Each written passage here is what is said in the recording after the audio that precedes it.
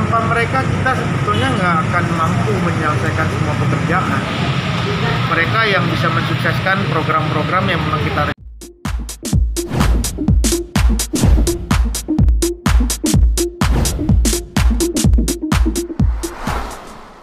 Izin mas, eh, dikit soal kedekatan keluarga. Kan di keluarga Mas Anang tuh sering di ini kedekatan dengan orang-orang yang kerja di lingkup keluarga itu mungkin seperti apa sih arti orang-orang yang kerja di Ya, tanpa mereka kita sebetulnya nggak akan mampu menyelesaikan semua pekerjaan.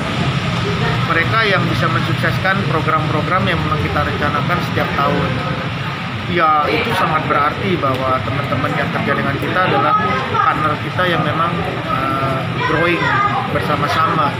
menyamaratakan nggak sih mas dalam arti Ya, seperti nggak- keluarga nggak gitu Ngomong-ngomong menyamaratakan itu hal yang sudah pasti keniscayaan ya, nggak bisa didiskusikan.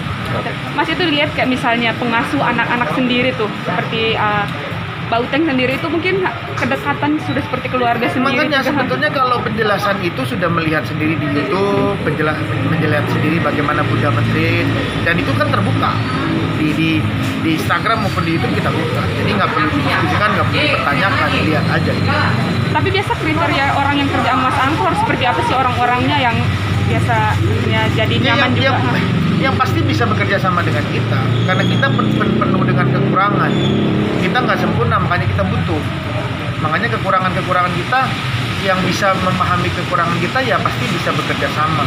Kita sama dengan orang lain, butuh butuh mereka. akhirnya ketika uh, mas Anang dengan keluarga memberikan treatment yang baik apakah memang pekerjaannya juga lebih baik nggak sih mas akhirnya yang mas lihat gitu Ya coba lihat sendiri aja bagaimana Uteng sampai hari ini dengan kita.